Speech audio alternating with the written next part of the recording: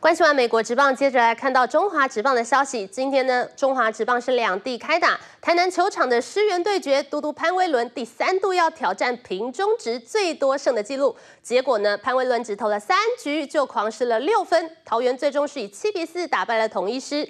至于呢，桃园的呃，至于陈金湖球场的向西大战，两队是一路打到了延长赛的第十一局，相对才以五比四一分险胜。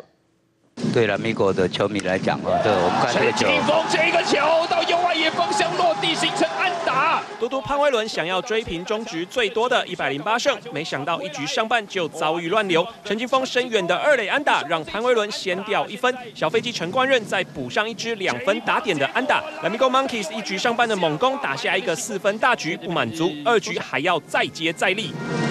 这一棒哇，又是安打，林志胜，二垒安打。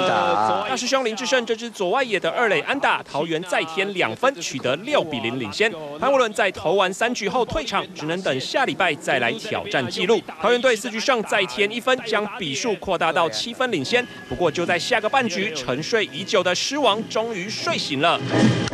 这一棒，结果打到球出去了，高国庆轰出一发三分炮，一棒就将比数拉近到四分差。比赛来到八局下半，狮队连续三支安打攻占满垒，可惜只有陈庸基打出一支高飞牺牲打得到一分。九下河本罗伯特成功关门，帮助桃园以七比四打败统一，敲出四局安打的余德龙拿下单场 MVP。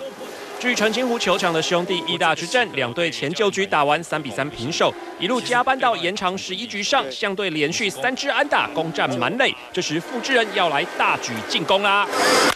就这个球投手没有接到，传了过去，形成了安上跑者回来得分，二垒上跑者绕过三垒，中来一手这个球长传回来偏掉了。简复志这支安打一棒打回两分，终于打破平手僵局。不过十一局下半，Many 一上来就轰了一发又高又远的大号阳春炮，可惜无法延续攻势。中场兄弟就以五比四险胜拿下二连胜。UDN TV 综合报道。